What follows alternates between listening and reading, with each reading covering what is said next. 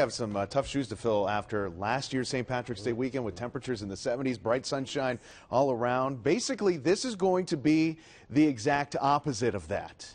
We're looking at rain, we're looking at snow, and the cooler temperatures to come along with. We already have some of that snow trying to sag down into areas like Venango County, up around Franklin. You're going to be seeing a few of these flakes starting to drop into the picture here in uh, any minute now. And as we continue through the evening hours, we're going to see a mix of precipitation starting to spread across the area. Initially, some rain mixed with snow, transitioning to all snow as we continue through the night. But downtown, it's just the cloudy skies right now, 48 degrees with those winds out of the west at 15 miles per hour. Now, we did make it up to 50 degrees. This didn't quite update, but uh, 50 degrees was our high today. The record 80.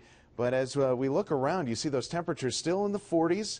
48 here, Pittsburgh, even 50 degrees in Washington, mid 50s in Morgantown. But as you get towards I 80 and points north, that's where we have the cooler temperatures, and that's where we're seeing the snow.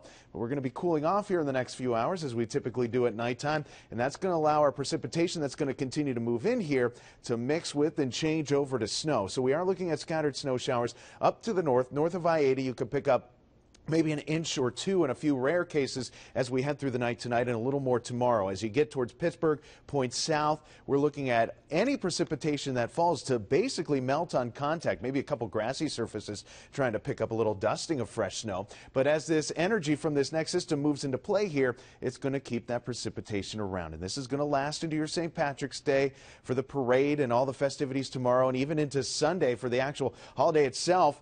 Into Sunday, though, we're going to start to see a little break in the action later in the day. We're going to get those mostly cloudy skies before the next round Sunday night into Monday as this next system tracks by to our south. So tonight, 37 degrees, cloudy, scattered areas of rain changing over to snow and into tomorrow morning. Still some of that scattered snow around 31 degrees, those snow showers there. And into the afternoon as we get our temperatures into the 40s, 43 for a high, we're going to see some scattered light rain up to the north. That's where we could be looking at the snow. Your four day forecast here shows that over the next few days, those temperatures do stay rather cool. Typically, we'd be in the upper 40s this time of year, both tomorrow and Sunday, low to mid 40s at best. Upper 40s on Monday, then another cool down with rain and snow both being possible on Tuesday. And your four day forecast plus four more days shows those temperatures even dip down into the upper 30s Wednesday and Thursday of next week.